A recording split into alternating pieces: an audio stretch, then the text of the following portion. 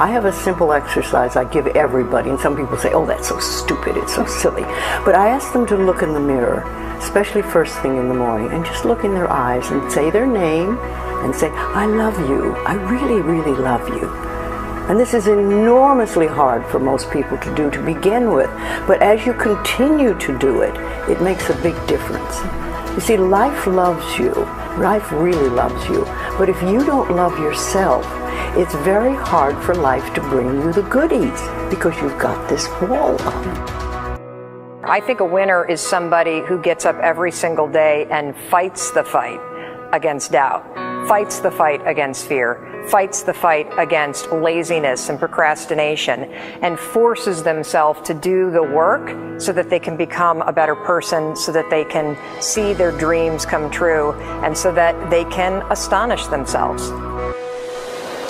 You win at life when you do the work that makes you feel uncomfortable. We look at winners all the time. We celebrate our greatest heroes in business and in sports because of their outcomes. But the fact is, nobody stops and thinks about the fact that those champions, those winners, spent 10, 20, 30 years getting up day in and day out and doing the work.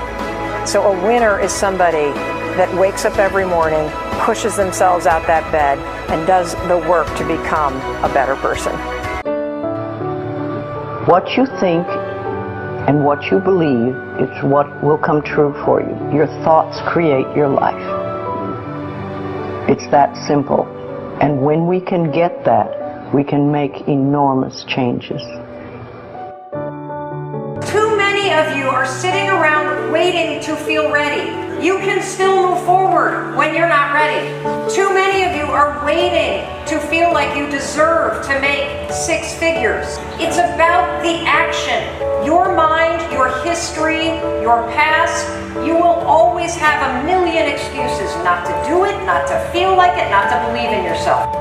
First thing in the morning and last thing in the evening, I want you to look into your eyes and say, I love you.